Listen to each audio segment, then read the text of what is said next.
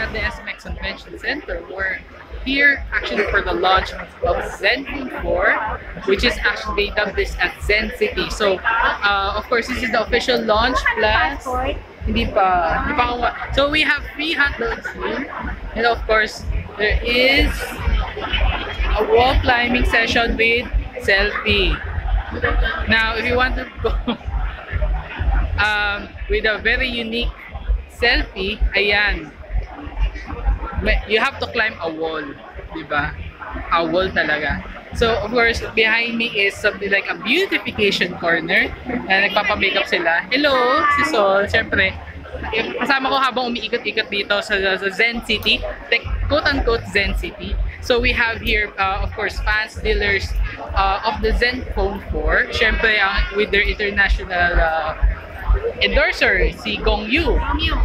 Tapos, siyempre, ang local ano nila is si Bea Alonso. okay lang yan.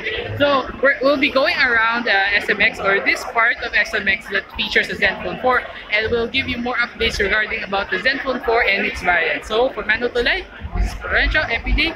Bye-bye.